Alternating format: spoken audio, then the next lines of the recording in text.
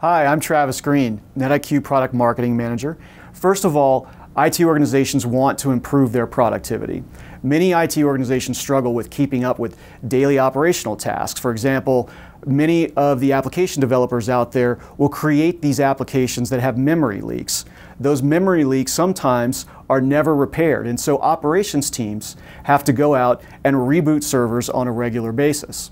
Aegis can automate operational processes on a schedule or in response to events or even on demand so that operations teams don't have to perform these tasks manually. Another common problem we see that people would like to apply automation to solve is reducing the risk of human error. Some operations and security tasks are absolutely mission critical. For example, if an auditor identifies servers that have a security vulnerability, then a process to remediate that is initiated. Aegis can direct this process to make sure that the correct staff are notified and that action is taken within a prescribed time frame so that nothing gets missed. A third common problem that we see that IT organizations want to automate is to accelerate the speed of business. Many IT organizations are starting to use things like service catalogs to allow their users to request IT services. While this helps communicate the services that IT can offer, it also has this increasing demand for services, causing a backlog of requests. Aegis can be used behind the scenes of a service catalog or other request management tools such as a ticketing system to automate many of the steps of fulfilling requests, reducing the time that users spend waiting. Now let's talk about some high-level product capabilities that Aegis brings to the table. First of all, it has this great drag and drop workflow designer using pre-built activities and connectors to reduce the skill level and time needed to create processes. Processes can also be triggered in three ways, by events, on a schedule, or manually. NetIQ Aegis also offers a complete lifecycle management solution for processes, including rollback capability if changes aren't effective. It also has an embedded correlation engine and this is unique to Aegis. No other IT process automation tool has it. And what it allows is Aegis to efficiently handle events as process triggers because we all know that we would love to reduce the amount of manual workload and effort it takes to respond to events. Aegis also gives real-time visibility of the progress of process execution. You actually can see little green check marks appear on the screen as the process is running. So you know exactly where you are in the process and you can troubleshoot it if there's any bottlenecks or things that hang up a process. And finally, Aegis includes reports that assist with continuous improvement efforts. Now let's take a look at NetIQ Aegis.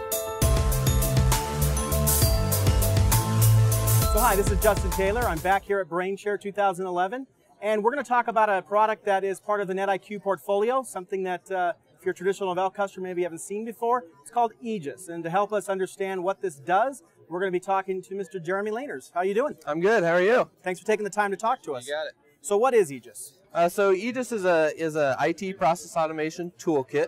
Uh, basically, it's a it's a command and control um, toolkit for building IT processes integrating multiple uh, applications across your IT organization and allowing you to take your IT process and, and model it and improve it over time such that you can you can take all those manual repetitive tasks that IT administrators have to do on an everyday basis and, and get rid of that so you can focus on on your, your real business challenges and, and the and improving your business. Could you maybe give me a quick demo? You got it. Uh, so what I've got here is the Aegis console open, and uh, this is just a, a, simple view of a, of a process that has already executed. Uh, I'm going to show uh, some integration with App Manager in this case. So here I've got App Manager running, and, and I've got it set up such that it's, it's just monitoring a critical Windows service. Uh, in this case, it's the very critical Windows Audio service, uh, the one that we love. Um, so I'm going to go ahead and stop it as if it uh, it were stopped unexpectedly in an IT organization. And, and here in just a minute, App Manager is going to recognize that an event has occurred, and of course there it is. Um, and Aegis has already recognized that that event has occurred in App Manager because of the integration between Aegis and App Manager. Um, so by now we probably have a, a, workflow that has already initiated in, in Aegis. Uh, I'll get to that in a minute. Uh, what I'm really going to look at is is my email because that's what I live by. I live by my email box. Um, so you can see that I've gotten a, an email here that says that critical Windows service, the Windows audio service, has gone down on my server, which was called Systems. Uh, the App Manager Event ID, which is important for App Manager administrators. And then I've got some action here. It says go ahead and visit the, uh, the Aegis console and, and look at some details and approve the restart of that service. So if I go ahead and click this link, it's going to take me to the Aegis console. And you can see I've got a little bit of detail about what's going on. The Windows audio service is, has gone down.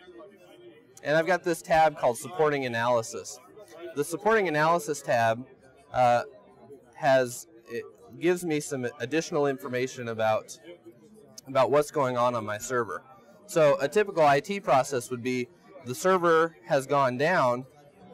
I need to do some investigation. I, I need to figure out was there a CPU utilization spike? Was there memory utilization? What else was going on? The way that I've set up this workflow is Aegis has done all that investigation for me. So now I can immediately visit the Aegis console and make an informed decision quickly and immediately without having to spend a lot of my valuable time trying to do some, some investigation. So I'm going to go ahead and look at CPU utilization here and and I can see that sure enough, leading up to that system event, the CPU seemed to have climbed pretty substantially. Um, so now I've got the ability to make an informed decision. Uh, in this case, I'm going to go ahead and uh, approve that restart. But real quickly, I'll, I'll, look at the, the workflow just so I can kind of get a, a, good feel for what we were doing in the workflow. Uh, so I can see a bunch of pretty check boxes that say all of these things have executed and I can see again that I'm, I'm waiting on a restart approval. So I'm going to go ahead and click on that and it's prompting me to restart the service, yes or no. I'll, I'll say yes, and, and we'll get to watch uh, Aegis execute. So we followed it down. It's, it's now executing the restart affected service activity. Effectively what we're doing is we're telling App Manager go out and restart that service for us. And uh, here in a moment, App Manager will respond back saying, I restarted the service or attempted to restart the service, uh, and it'll give us some details. Um, and finally, we'll send out um, a response back to our inbox saying, did it succeed or not? And we get to see that in real time with the Aegis workflow. And here it comes.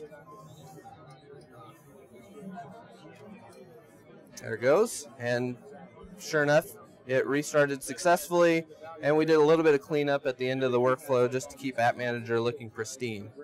And so, of course, if I go back to my, my inbox, I've got a success email and, and uh, everything was great. Um, so this, this really didn't come for free. You know, you, uh, you had to do a little bit of work to set up that process. Um, so just looking at the process itself, it, it's a visual drag and drop utility, Vis Visio style. Uh, so anybody who's familiar with Microsoft Visio is going to immediately be familiar with how do you make use of this tool. Um, activities are, are very easy to configure. So something like sending out an email is, is done as simply as filling in the from field, the to field, subject, and body. All the things that you would expect to fill out when sending an email. Um, so it, it's a very simple product to make use of build your IT process out, connect and integrate with other products in the IT environment, and, and just make the entire IT organization much more efficient. Looks like a great product. Thank you very much for taking the time. You got it. Thanks. Thank you for watching.